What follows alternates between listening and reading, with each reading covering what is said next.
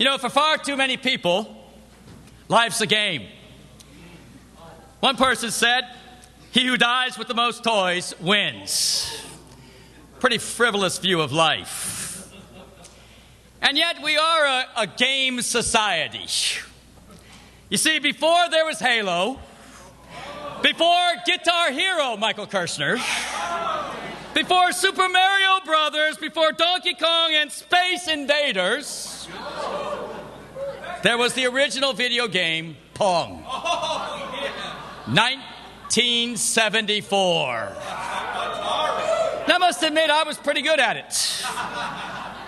But even before then, there was a game a lot of children played called Rock, Paper, Scissors.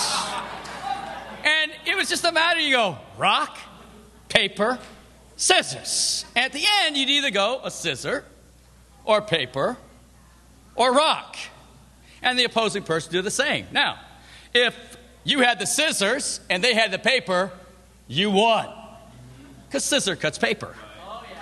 If you had the paper and they had the rock, you won because paper covers rock.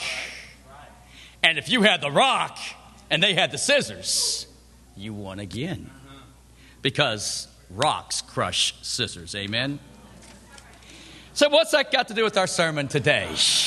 Let's turn to Jeremiah chapter 36.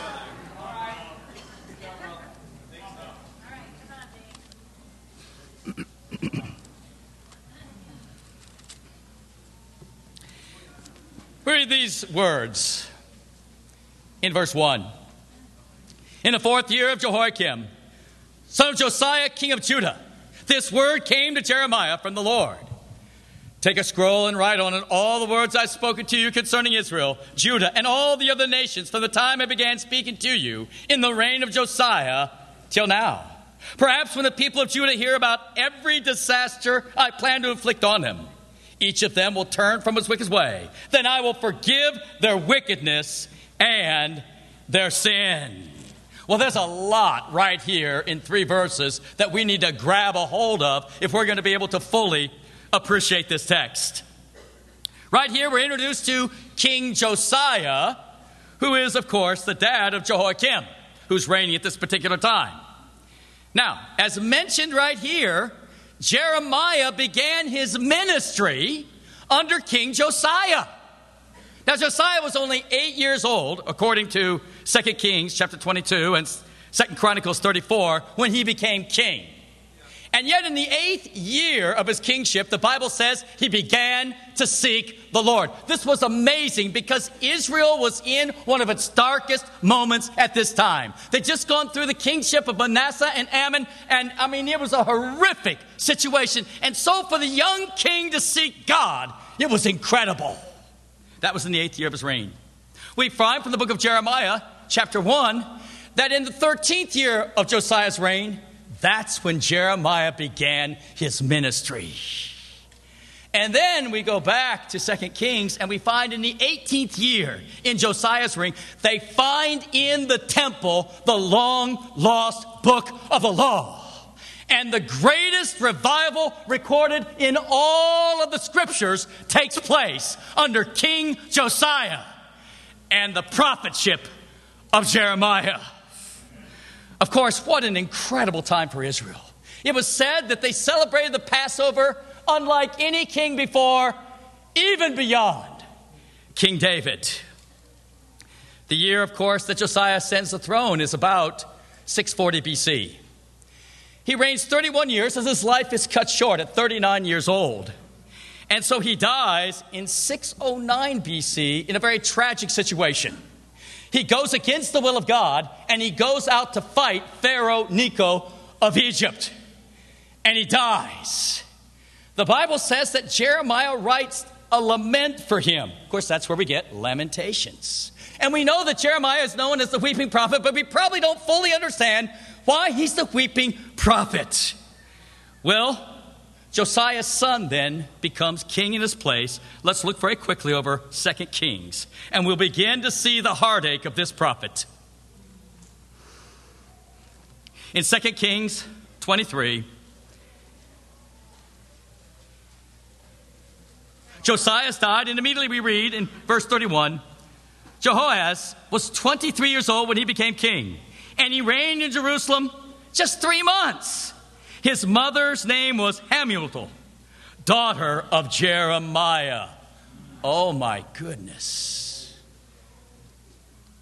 Josiah was the father in law, I mean, Jeremiah was the father in law of Josiah. And this is his grandson on the throne. His grandson had become so evil that Pharaoh Necho takes him out of leadership and puts his half brother, not the son of Hamutal, into leadership. That is Jehoiakim. Now it's 609 BC. Here's the next interesting text, and we need to put this all together. In Daniel chapter 1, we find in the third year of Jehoiakim that this is when Nebuchadnezzar comes against Israel and Jerusalem and takes the first group of exiles, being Daniel, Shadrach, Meshach, and Abednego. So the hand of God is starting to come down here on Israel. You're you feeling it right here? Now, the text we're going to be getting into takes place in the fourth year. Now, let's get back to it if we could. The darkness is coming. And the gist of Jeremiah's ministry is, ironically, the passage that Carlos presented for us at the beginning of the service. We always share with the other that God has a plan to prosper us. But connected to that was the prophecy that they would be 70 years in Babylon in exile, and then God would bring them back anew, back to Jerusalem. And the exciting thing that I think comes from this is to understand the irony of the time of Jeremiah. He presided over this great revival, but now God says, The land is so wicked, I'm going to have to send people into exile. Now, my message to my people is just go quietly with Nebuchadnezzar. Now, never before had a prophet said, Go with the enemy. So, as you can see, this was a very unpopular message, particularly if you were King Jehoiakim. And the sad thing is, the last king that presided over Jerusalem was another grandson of Jeremiah. His name was Zedekiah. If you do the math, you'll find that when Josiah died, Hamutal probably was pregnant at that time. And so the grief of Jeremiah comes not only within his physical family, but the spiritual family of Israel, and he is known as the weeping prophet. Let's get back to our text Jeremiah chapter 36. We find right here that God says, Take a scroll and write on all the words I've spoken to you. Well, of course, that is what? It's the book of Jeremiah. So he writes down the scroll, these things, and so we read this in verse 4. So Jeremiah called Baruch, son of Neriah, and while Jeremiah dictated all the words the Lord had spoken to him, Baruch wrote them on the scroll. Then Jeremiah told Baruch, I'm restricted. I cannot go to the Lord's temple. So you are to go to the house of the Lord on the day of fasting and read it to the people from the scroll the words of the Lord that I wrote and I dictated. Read them to all the people of Judah who come in from their towns. Perhaps they will bring their petition before the Lord, and each will turn from his wicked ways. For the anger and wrath pronounced against these people by the Lord are great. Baruch, son of Neriah, did everything Jeremiah the prophet told him to do. At the Lord's temple, he read the words of the Lord from the scroll. Wow, that's a brave secretary right there. Jeremiah goes, Okay, Here's the book of Jeremiah. Here's all the things on now on a scroll. Now I'm restricted. I'm under house arrest. You've got to go to the temple and read these things to the people. Well, he reads it to the people, and inside of the crowd were some of the officials. Well, some of the officials heard it and they said, Listen, Baruch, would you come to a secret meeting and read it again to all the top officials of the king? So we go on over to verse 15. They said to him, Sit down, please, and read it to us. So Baruch read it to them. When they heard all these words, they looked at each other in fear and said to Baruch, We must report all these words to the king. Then they asked Baruch, Tell us, how did you come to write all of this? Did Jeremiah dictate it? Yes, Baruch said. He dictated all these words to me, and I wrote them in ink on the scroll. Then the official said to Baruch, You and Jeremiah, go and hide. Don't let anyone know where you're at. I mean, the prophecies of God can be scary. Amen, guys? Well, let's see what happens next. After they put the scroll in the room of Elishama the secretary, they went to the king in the courtyard and reported everything to him. the king sent Jehudi to get the scroll. And Jehudi brought it from the room of Elishama the secretary and read it to the king and all the officials standing beside him. It was the ninth month, December, and the king was sitting in the winter apartment, part of the palace that was more insulated, with a fire burning in the fire pot in front of him. Whenever Jehudi had read three or four columns of the scroll, the king cut them off with a scribe's knife and threw them into the fire pot until the entire scroll was burned with fire. The king and all of his attendants who heard all these words showed no fear, nor did they tear their clothes. Wow. Now we understand. He took the scroll as Jehudi read it, took the knife, or dare we say, as scissors cut paper. Verse by verse, he throws in the scriptures into the fire with no fear of God. Well, what happens? Verse 27. After the king had burned the scroll containing the words of Baruch, had written to Jeremiah's dictation, the word of the Lord came to Jeremiah Take another scroll and write on all the words that were on the first scroll, which Jehoiakim, king of Judah, burned up. Here's the bottom line you can never get rid of the word of God, it's permanent and it's forever. Are you with me here, church? You see, we understand this. Scissors may indeed cut paper, scriptures. But the paper and the rock, paper being scripture, the rock being God, are one and the same. And bottom line, the rock is going to destroy the scissors. Are you with me? See, that's our title Rock, Paper, and Scissors.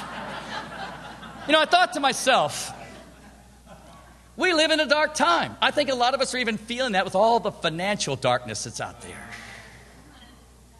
And yet, we live in a time where, for the most part, people do not fear God. There's a lot of people like Jeremiah. It's hard times. And yet, still, people are not turning to God. And so, what scriptures would people cut out of the Bible today? We're going to look at a few of these scriptures that people would like to cut on out. But we know that all scripture is inspired by God. Amen, guys? Let's go to Hebrews chapter 12.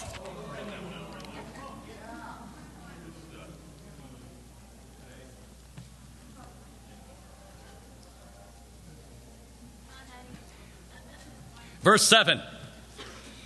Endure hardship as discipline. God is treating you as sons. There's a lot of people would like to cut that one on out. Say, I want the Christian life to be love, joy, and peace. And the Bible says right here, it says, listen, God gives you hardship because He loves you so much. Lord, hold the love.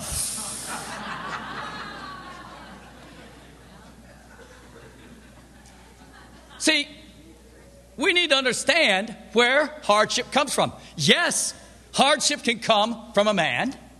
Yes, Hardships come from Satan, but ultimately we need to understand this God is sovereign. That means that in this entire world and in your life, everything that happens, either God made happen or He allowed it to happen, and there's a purpose behind it. Let's keep reading. Endure hardship as discipline. God's treating you as sons. For what son is not disciplined by his father? And if you're not disciplined, and everyone undergoes discipline, then you are illegitimate children, not true sons. Moreover, we've all had human fathers who disciplined us, and we respected them for it. How much more should we submit to the Father of our spirits and live? Our fathers disciplined us for a little while as they thought best, but God disciplines us for our good, so that we may share in His holiness. No discipline seems pleasant at the time, but painful. Later on, however, it produces a harvest of righteousness and peace for those who've been trained by it. He says God's ultimate purpose to send you through a hard time is to produce a harvest of righteousness in your life, for you to become holy, for you to become a better Christian. But look at verse 15. See to it that no one misses the grace of God and that no bitter root grows up to cause trouble and defile many. For a lot of us, how do we handle hardship? Instead of submitting to God and seeing God working, we become bitter towards the hard times that our life is going through. And so ultimately, you have two decisions right here. Number one, are you going to decide that God is sovereign? Are you going to submit to your Father God? Now, there are some of us that don't have a good experience with our human fathers, but we know that our Heavenly Father, God, is perfect. Amen, guys? And God is saying, number one, you must submit to my sovereignty. Everything that happens, you've got to understand, is for your good. Either I make it happen or I allow it to happen. Now you have a choice on what to do with that. Either you are going to submit to that discipline and become a more holy, a better disciple, or you're going to rebel to it and you're going to become a bitter disciple. You know, it's very interesting, right at the beginning in chapter 12. It talks about Jesus. Therefore, since we're surrounded by such a great crowd of witnesses, let us throw off everything that hinders the sins that so easily entangles. And let us run with perseverance the race marked out for us. Let's fix our eyes on Jesus, the author and perfecter of our faith, who for the joy set before him endured the cross, scorning its shame, and sat down at the right hand of the throne of God. Consider him who endured such opposition from sinful men, so that you'll not grow weary and lose heart. You know, right here, he makes an analogy that the Christian life is like a race. Dare we say, like a marathon. And yet, I believe that evangelical Christianity has put into our minds the older you get, the easier life is supposed to get. I mean, you're supposed to make more money as you age, you have more prestige as you age, and then you get to retire and you do nothing. Isn't that awesome? And your life is just awesome, and then you die. But biblically, that's not the view at all. As in a race, let me tell you something. Mile 15's a lot tougher than mile 5. And mile 24, oh baby, that's a tough one. That's tougher than 15. See, we have such a worldly mindset when it comes to Christian life. And so, right here, he says, Well, now, what stops us from persevering? What makes us grow weary and lose heart? He says, Well, look at Jesus. He persevered because of the joy set before him of the cross. The, the cross was horrific, but the joy before him was the salvation of mankind. He says, Therefore, consider Jesus, who endured this opposition from sinful men, people that hurt him, and do not grow weary and lose heart. Do not quit the Christian race. You know, when I think of two people that love the Lord with all their heart, soul, mind, and strength, I think of Carlos and Lucy Mejia. Oh, yeah. They're the ones that introduced the service up here. And uh, Carlos and Lucy became awesome disciples here in Los Angeles in the 90s. And uh, then they met each other. Amen. they got married in the Lord. They got to see their dreams become a reality. They, they, they got to go into the full time ministry. But then, after a period of time, it was almost like the perfect storm moves in on their lives and on their faith. First of all, they're fired from the ministry because there's not enough money to pay them. Secondly, there are financial hits that started to come into their life because, as many Americans, we've gotten greedy, haven't we? And they began to be hit by their own sin there. And then something else crept into their marriage. Is there began to be a lot of trouble in their marriage that centered in, in their sexual life. And I'd ask Carlos if I could share these things because Carlos was molested as a little kid. And so this perfect storm crashes. I mean, it just accumulated one day when Lucy couldn't handle it anymore and throws a box of waffles at Carlos. and Carlos was not to be seen for three days. Both of these people were hurting, and they knew they were in trouble. Some would go, Well, where's God? What we find in the scriptures endure all hardship as from God. God either makes everything happen or he allows it to happen. Over time, they started to get help from different disciples. And then the Holy Spirit brought them into Elena's in my life. And I still remember the first time I got with Carlos, I showed him a scripture. Go over there, Luke chapter 5.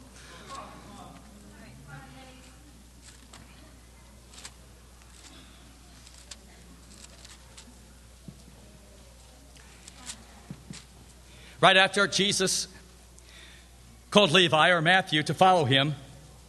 Levi throws this party in Jesus' honor. In verse 29, then Levi held a great banquet for Jesus at his house, and a large crowd of tax collectors and others were eating with them. But the Pharisees and teachers of the law who belonged to their sect complained to the disciples, Why do you eat and drink with tax collectors and sinners? Jesus answered them, It's not the healthy who need a doctor, but the sick. I've not come to call the righteous, but the sinners to repentance. You can always count on Jesus to step in there and say what needs to be said when it needs to be said. Amen, church? Well, what was Jesus saying, right? Well, here's this tax collector, this sellout Jew who was taxing his own people for the sake of the Romans. And he was so fired up to now be a follower of Jesus. And he invites his tax collector and sinner friends on over, as well as the Pharisees.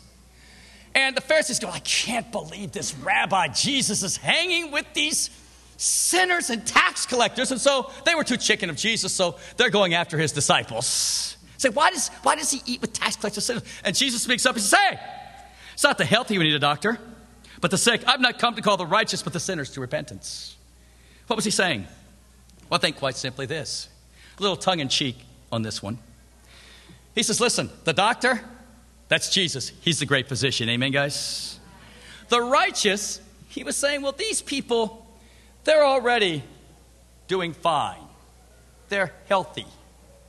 But of course, he was actually saying they really weren't. They just didn't know they were sick. So to be righteous is to be healthy. To be sick is to be a sinner. And it was the doctor that came to heal the sick, was it not? And so, what heals the sick? Well, it says right here. He says, But the sick I've not come to call the righteous, but the sinners to repentance. What heals the sick? Repentance. What had happened to Carlos and Lucy was very simply this this incredible, perfect storm of financial problems, brokenhearted from a lost dream. You ever been there? And then marriage problems just come and it shatters their faith. And they were down and they were bitter and they were depressed. What was the answer? Well, it's very simple this. A lot of people go, well, why did God allow the molestation? That's so evil, and it is evil. And there's so much evil in this world. But God had a purpose. He knew that Carlos could endure that. Why? Well, there was a time that he was very bitter about it and he was resentful. And so, what did the healing take? It took repentance and forgiving those that hurt him, just like Jesus. When he was called to repentance, then came the healing, not only in his own personal life, but in his marriage. And then Lucy followed, and now, of course, they're one of the most fruitful couples in the whole church. But here's the thing that's unique about it. Not only are they effective as far as winning people to Christ and baptizing, not only are they awesome calling in the remnant people that are hurting out there that have lost their faith, but some of the couples, and we have several couples in our church where one of the individuals, either the man or the woman, have gone through molestation and it's just paralyzed them. It's just killed their sexual relationship. And you know what Carlos and Lucy do now? They get with these people and they share how God has allowed them to overcome, and this frees these other people up to forgive and be free and to receive the salvation of God. You see, ultimately speaking, we go through hardships so we can become a better individuals, so that we can minister to other people and help even more people get to heaven. Does that fire you on up or not?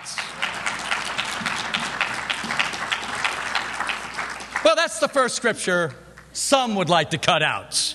Let's go to another one people like to cut out Matthew chapter 7. Verse 13.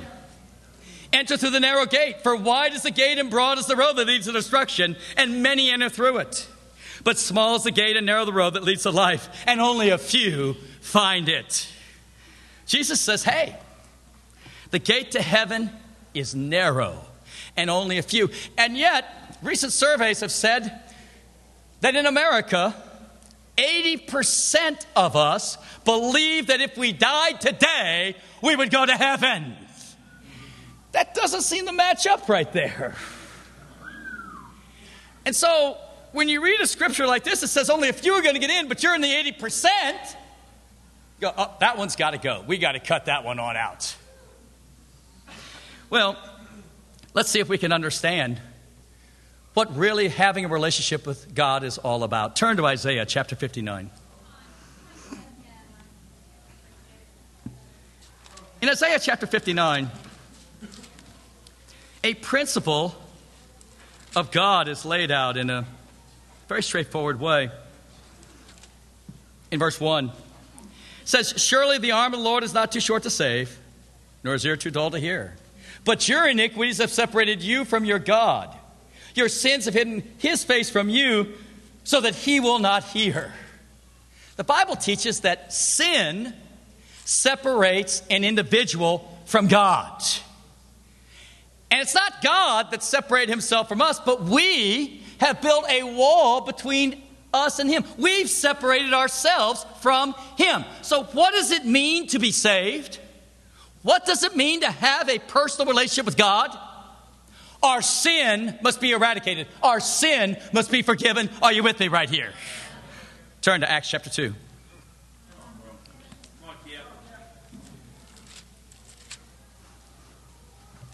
This is on the day of Pentecost. Peter is speaking to thousands of people in Jerusalem. And he ends his sermon in verse 36. Therefore, let all Israel be assured of this God has made this Jesus, whom you crucified, both Lord and Christ. When the people heard this, they were cut to the heart and said to Peter and the other apostles, Brothers, what shall we do? Peter replied, Repent and be baptized, every one of you, in the name of Jesus Christ, for the forgiveness of sins and you will receive the gift of the Holy Spirit. Verse 40. With many other words, he warned them and he pleaded with them Save yourselves from this corrupt generation. Those who accepted this message were baptized. About 3,000 were added to the number that day. And they devoted themselves to the apostles' teaching and to the fellowship and to the breaking of bread and to prayer. Well, let's look at this. He preaches to this crowd of thousands. And he says, You need to understand that this Jesus you all crucified. Well, how could everybody in the crowd have crucified Jesus? Did they, did they stand there with, in front of Pilate and say, We want Barabbas freed instead of Jesus? No, a lot of these people weren't in town. Did they pound the nails personally into his hands? Not at all. Why did Peter accuse everybody in the crowd of crucifying Jesus? Because everybody sinned and Jesus died for the world's sins. Amen? Now, the moment the people realize this, they're conscience stricken. They're cut to the heart. They go, wow, I believe Jesus is the Son of God. I now see my sins are responsible for crucifying him. Well, well, Peter, what do we do now? He says, very simple. You need to repent. You need to make the decision to be a disciple, and then you need to be baptized, immersed, for two reasons. Number one, the forgiveness of sins. How important is that? Well, that's essential. That's what cut us off from God in the first place. So, at what time do we get a personal relationship with God? After we have faith, after we repent, after we become a disciple, and then we're water baptized to have all of our sins forgiven. Is that awesome or not? And then God gives us the Holy Spirit to give us the power to live the Christian life, something that we couldn't do by the flesh. Amen? You know, uh, Friday night, we had our uh, all campus and teen devotional. And it was incredible. We had about 50 kids there, and it's, it's been amazing. I really want to commend all of our campus and teen group. It's been great because we've sent a lot of young people out on mission teams to Honolulu and, and to New York City, and uh, the Lord's working powerfully in those places, but it's a hit relationshiply, isn't it, when we send people on out? But I mean to tell you, on Friday night, all of us young people gathered together. And it was an incredible experience. It was awesome. And what I'm working with the, the group right now on is learning how to worship. We sang about 15 songs in about 30 minutes. Some vigorous songs at the beginning, more solemn songs there, and then we ended up with Rise Up, O Men of God. But as, as awesome as that was, the highlight had to be at the very end. When our new brother, Eddie Alvarado, brought up his friend, Kyle Ventura, and said, Kyle is going to be baptized tonight. And, and it, was, it, was, it, was, it was very moving. and uh, they're, they're high school buddies. And you could, you could feel the love right there. And yet you also could sense the sincerity that Kyle had. He understood this was the biggest decision he is ever going to make. He shared the challenges of making the decision, that he had to give up his old traditions. And then, of course, the two questions were asked Do you believe that Jesus is the Son of God? And what is your good confession? He said, Jesus is Lord. Well, we were all excited. We're fired up. So Vic Jr. had said, Well, we can baptize him there at UCLA campus because there's a pool there at UCLA, a fountain. And so we, we had this group of 50 going through the campus, you know, about 9, 10 at night, trying to find this fountain. We get to the first fountain, no water. They just drained it, no kidding. They just drained it.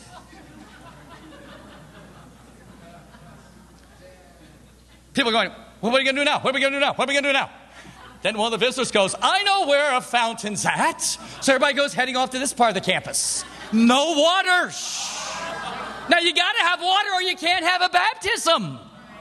Baptism means to immerse. Well, praise God. The sisters live at a place with a swimming pool, and Kyle was baptized. Amen, guys?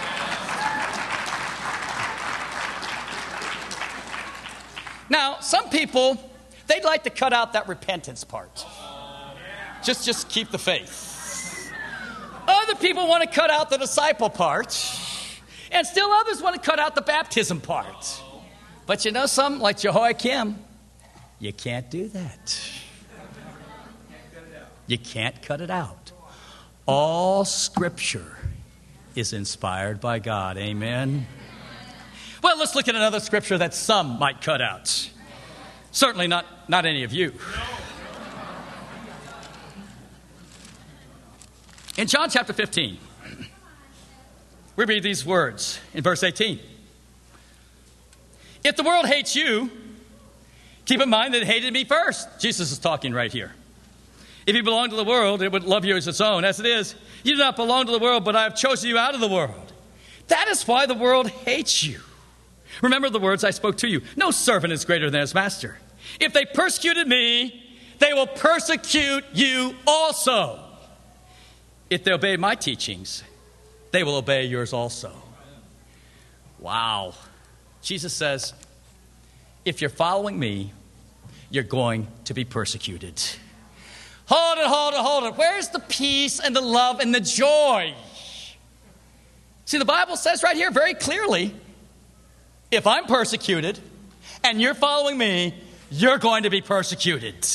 You're going to be slandered. People are going to twist your words. People are going to put you down and label you with names. That's exactly what they did with Jesus. And you say, but why? Well, it's very simple. We get an insight right here when it says, if they obey my teachings, they'll obey yours. You see, when you teach, when you speak out, they feel condemned. There are two areas the world feels condemned by those who follow Christ. Number one is in doctrine, and number two is in life. And the world will persecute us as a backlash to try to protect itself, saying, I'm all right with God, when in fact they're not. You know, you've just got to ask yourself personally I mean, are you really following Jesus? If you are, you're going to be persecuted. Are you in a church that's controversial? If you're not, you're not being persecuted. How can that be Jesus' church? If you're a follower of Jesus, you will be persecuted. You know, one thing that I've learned is that, in essence, our lives are not just a marathon, they're a journey of learning the truth, are they not? One of the brothers that I love a lot is Victor Gonzalez Sr. And uh, just by chance, we were talking late last night just about different things in the ministry, and, and uh, I was just talking to him about the, the Latin ministry. And, you know, the church here has only been going on for for, for really 17 months. And the Lord, through Victor and Sonia, has grown the Latin ministry from eight disciples to 41 disciples. Is that awesome? And for those who don't know, we have a separate Spanish speaking service uh, in another room. And I really admired Victor, and we just started talking. And for some reason, I, would never really gotten into the story of Victor becoming a disciple. And so, you know how you go, now, Victor, tell me, what, was, what, was it, what were you like when you were a kid? He says, Well, I grew up in a very traditional church where they baptized babies. And I used to go to Mass almost every morning with my grandma at 6 a.m. in the morning. I go, oh, that's, that's cranky. He says, And you know, I had absolutely no persecution at that point. I go, ah, That's interesting. I said, well, well, what happened? He says, Well, one of the big turning points is when I came to America. He's from Mexico. When I came to America, I met this girl in the streets. And she says, Do you believe in the Bible? He goes, Well, yes, I believe in the Bible. And so they started to be friends and started to study the Bible together. And they moved in together. And she was studying with Victor about the fact that Jesus was not God. Well, they'd almost study almost every night. And Victor says, after a few weeks, I came to a conviction on two things. Number one, Jesus is God. And number two, this girl and I were living in sin. He says, when I broke it, I got my first persecution. Because you're persecuted for life and doctrine. He was taking a stand and saying living together is not of the Lord. So he goes about, and at this point, he decided he wanted to make money by selling Bibles. It's a true story. I'm not making it up. You can't make up stuff like this. And one day, as he was selling Bibles, he saw a group of young people outside of this one church building.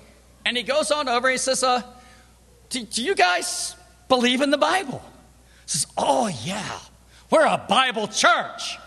He goes, Man, I've been looking for a Bible church. And so he starts going. Pretty soon he studies, and they show him a couple scriptures, says, Victor, Here's what you do. You need to understand you don't start following God when you're a little baby. You have to be adult, you have to be born again. What you need to do is to pray Jesus into your heart, and you'll become a Christian and you'll be saved. Oh, Victor was so fired up. He praised Jesus' heart, and then he also finds his wife to be, Sonia, in that fellowship. Well, Victor becomes a leader. He not only becomes a preacher, he has his own radio show. I mean, he is fired up about God. Well, eight kids later, Vic Jr. is playing baseball with a disciples kid from the church. They meet each other.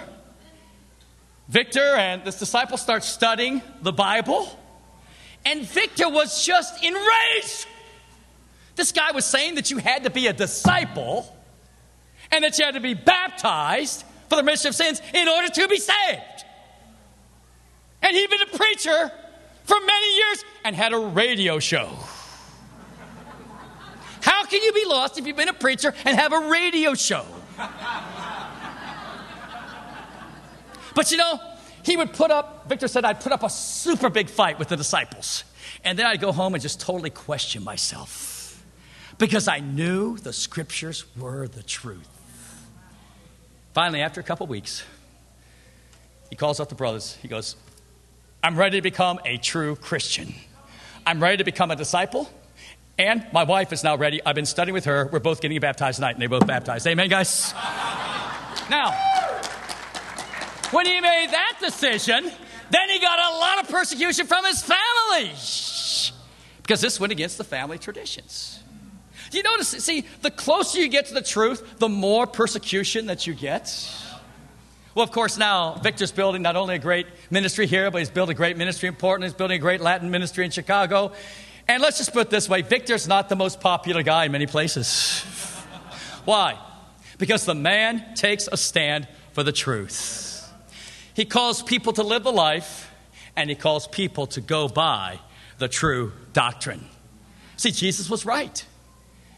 if I'm persecuted, you're going to be persecuted. And you dare not cut that scripture out.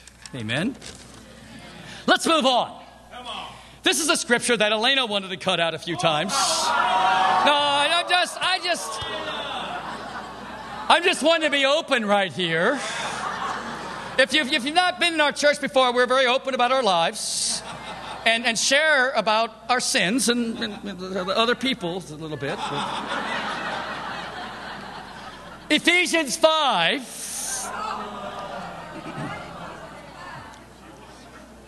Verse 22. Wives, submit to your husbands as to the Lord. For the husband is the head, the wife is Christ, the head of the church's body, of which he is the Savior. Now, as the church submits to Christ, so also wives should submit to their husbands in everything. I love that scripture.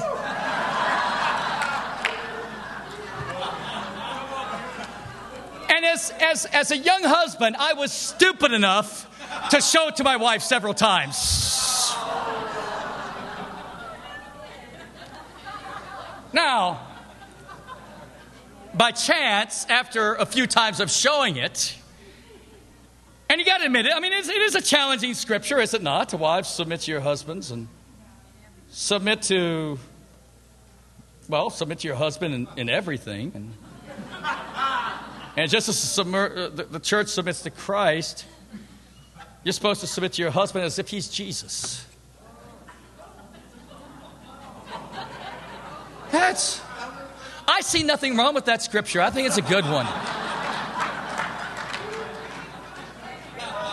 But so after about the fourth time showing this scripture to her, she goes, Well, Kip, look at verse 21. Okay, what's it say? Submit to one another out of reverence for Christ. Yeah, babe, but look at verse 22 right there. She says, Well, babe, then you need to look at verse 25. Husband, love your wives just as Christ loved the church and gave himself up for her to make her holy, cleansing her by the washing with water through the word, and to present her to himself as a radiant church without stain or wrinkle or any other blemish, but holy and blameless. Wow. Wow, I, I kind of like the 22 to 24 part. Because this one said, I'm responsible for my wife's spiritual well being. See, there's a very easy way to tell if you have a good marriage. You look at the woman and see if she's radiant. If she's not radiant, you're tanking it. So Jesus presented a radiant church. And it's kind of interesting. He says it's the husband's responsibility to serve the wife and to cleanse her with the word to make her holy. And I find it a little bit humorous right here, so that she will be without stain, wrinkle, or blemish. What do women hate? Stain, wrinkles, and blemishes. Now we're talking about spiritual ones right here a spiritual stain, a spiritual blemish, spiritual wrinkle. but the husband, in fact, is to submit and serve the wife. And the wife is to submit and serve the husband. And in that sense, there's unity. Now, it is interesting to me in this age of opinions in our churches that people have a question about, quote, consensus leadership or one man leadership. Even when there are two people, God appoints a leader. Not that it's the sharpest guy. A lot of our wives got a few IQ points on this, guys. Right, Jack? Amen.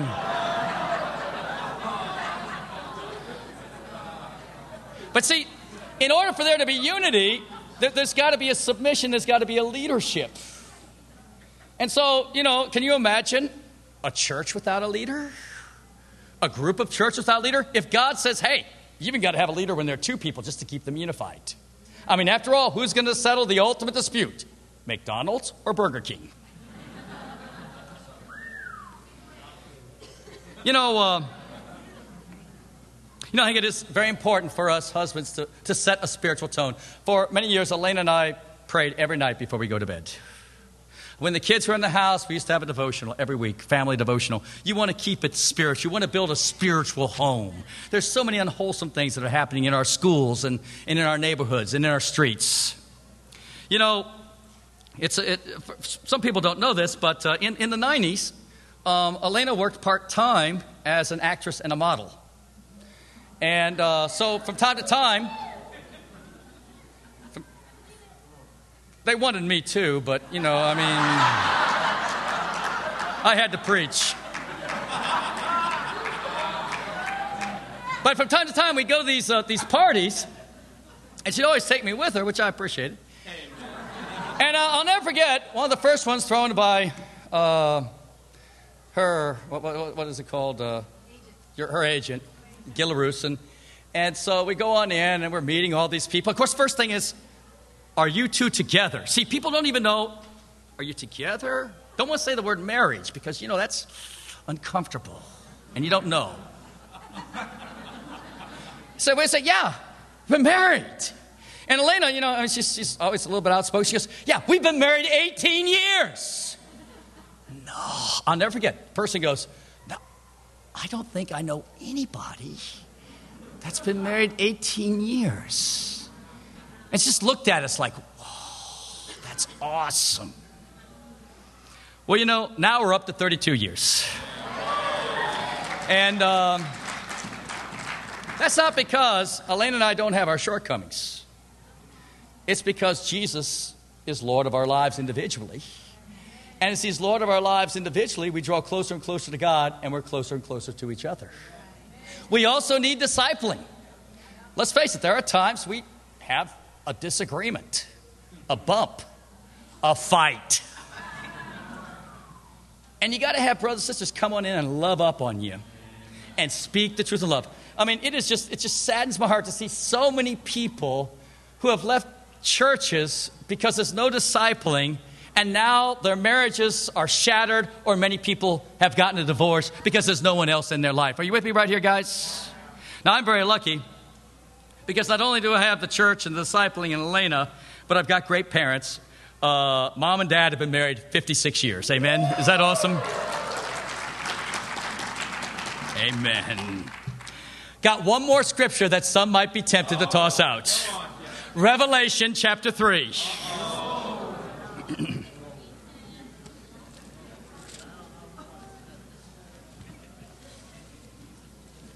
Beginning of verse 14. To the angel of the church of Laodicea, write These are the words of the Amen, the faithful and true witness, the ruler of God's creation. I know your deeds. Oh, baby. You could stop right there and that'd be convicting, isn't it? God knows what you're all about. I know your deeds, that you're neither cold or hot. I wish you were either one or the other. So because you are lukewarm, neither hot or cold, I'm about to spit you out of my mouth. You said, I'm rich, I've acquired wealth, I do not need a thing. But you do not realize that you're wretched, pitiful, poor, blind, and naked. I counsel you to buy from me gold refined in the fire, so that you can become rich, and white clothes to wear, so you can cover your shameful nakedness, and salve to put on your eyes, so that you can see. Those whom I love, I rebuke and discipline. So be honest and repent. You know, we need to understand there's a huge difference between being weak and being lukewarm. To be weak is someone that is, is striving still to follow the Lord. They've got their challenges, they've got their problems, but they know they're weak and they're still trying to do the will of God. Conjure that is a lukewarm person who's gotten themselves into a state that they're essentially unaware of how far they've drifted from God. As a matter of fact, right here, Jesus says a couple of things. He says, uh, he says, Because you're lukewarm, neither hot or cold, I'm about to spit you out of my mouth. Huh. What, what's he talking about? Well, we understand that. Take tea. You either want iced tea or you want hot tea. Anything in between, you go, spit it out. But we need to get a conviction here. Jesus says, if you're lukewarm, you make me nauseous. That's how detestable lukewarmness is to him. He says, I wish you were either hot or cold. Now, that doesn't make sense to some of us. I mean, I mean, isn't lukewarm closer to hot and being fired up than, than cold? Well, perhaps a little story from my college days will help. I remember coming in one Saturday morning from playing brothers football. And I came in about 11:30, maybe quarter to 12, to the fraternity house. And my fraternity house had this huge shower area. And nobody was taking a shower, but I, you know, it's all grungy, and you know, sometimes you pull a few muscles and stuff like that. So I got the shower going just perfect. As a matter of fact, I had a couple of things coming shooting on in. Got the hot going, got the cold going. It's coming. I go, you know, I saw a chair out there in the hallway, so I got the chair, sat down there, and just enjoyed myself. Just the water, the perfect temperature. Closed my eyes, and you're not going to believe it. One of my fraternity brothers, who called himself a disciple, came on in and saw my weakened state, turned off the hot water. Praise God, it was the hot he turned off. Cold water comes on. I go, whoa? Wow. I, I, I wasn't going to kill him, but I would do a few things that weren't too good. But you, I knew exactly where I was at. I was standing under freezing cold water at 11:30 in the morning. I was totally, totally freezing. Now, why tell that story? Because you see, when you're in a lukewarm state, you really don't know you're lukewarm. You're just comfortable. But if you're cold, you know you're under cold water, and by golly, if you're under hot water, scalding hot water, you know you're hot. Well, let's just see if we understand. If you're cold, eh, you're hardly ever going to church, not reading your Bible, hardly at all, never sharing your faith, rarely praying, not praying with your wife. Is that pretty cold? Hot. Well, this is a person sharing their faith every day, in the scriptures every day, praying every day, being spiritual with the family every day. Is that, that, that pretty hot? Okay, now, now ask yourself a question Are you cold? Or are you hot? If you're neither hot or cold, then you're what? Wow. And Jesus has serious words for that. See, the danger is you go very often from being fired up in the Lord to being weak, then you fade into lukewarmness, and then you fade out of the church. You know, last week we had two incredible restorations with uh, Heather and Tao. Amen? Amen? Now, Heather had just quit going to church altogether. Tao, he'd started to go to denominational church because you can get weak doctrinally. You know what I'm talking about? But I mean, it was awesome when they came back to the Lord and to see the hearts that they had about being restored to God. Is that awesome? You know, we got some sad news uh, just the other day. Michael Williamson called me up and told me that his aunt had died. And Michael's already lost his mom, and so for his mom's sister to have died, that's a huge hit to him. And he says, You know, she was only 51 years old. I'm going, I'm 54. And we just talked a little bit, and I said, Michael, this is, I am so sorry. He was just really hurting.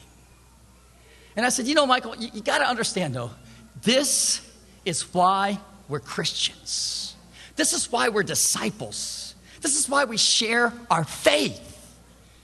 And, bro, God has us go through tremendous amounts of hardship, but there's always a purpose that ends in salvation.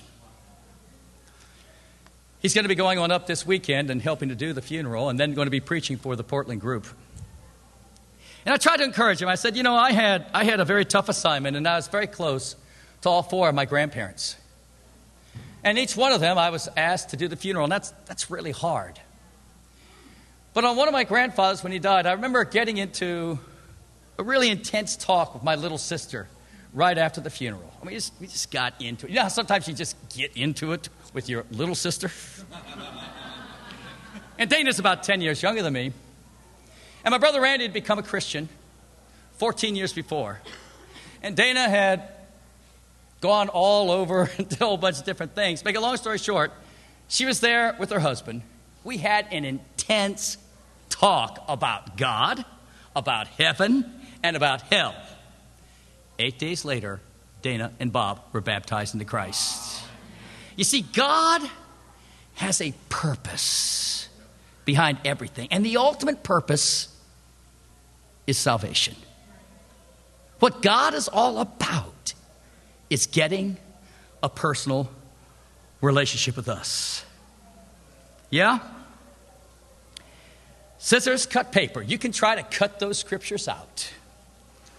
The rock, God, and the paper, the scriptures, well, they're one and the same. But bottom line, the rock, God will always crush those who try to cut the Word of God. Remember, all Scripture is inspired by God. Thank you, and God bless.